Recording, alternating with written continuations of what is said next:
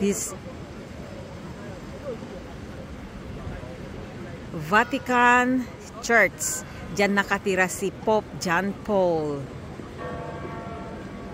Look, this is a Vatican. Yung nasa gitnang terrace, Asocha, diyan sa gitna. Diyan siya lumalabas si Pope John Paul. Diyan siya. Pag may occasion na, occasion na mag uh, bigay ng misa, doon siya lalabas, doon sa gitna oh. Yung gitna. Doon siya lalabas, doon sa Asocia siya. This is uh, Vatican Church. Look, around this one.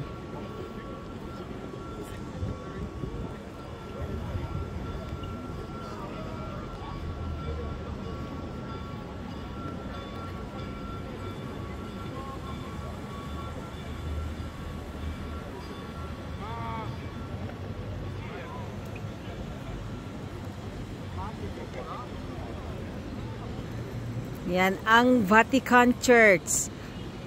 Diyan siya nakatira ni si Pope John Paul. Diyan siya nagbibigay ng mass. Misa pag special occasion only. Maybe.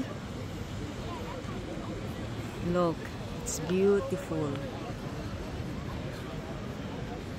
It's already 5.30 in the afternoon. It's a cloudy day.